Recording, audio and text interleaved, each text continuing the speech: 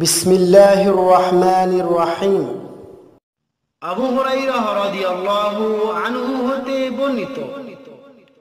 রাসূল সাল্লাল্লাহু আলাইহি ওয়াসাল্লাম বলেছেন, জুমার দিনে ইমামের খুতবা চলাকালীন সময়ে তুমি যদি তোমার সাথীকে বলো, চুপ থাকো, তবে তুমি অনর্থক কথা বললে ওয়াসার কাজে লিপ্ত হলে, কেননা খোদবা চলাকালীন সময় সকলের দৃষ্টি মনোযোগ খতিবের খোদবার দিকেই থাকবে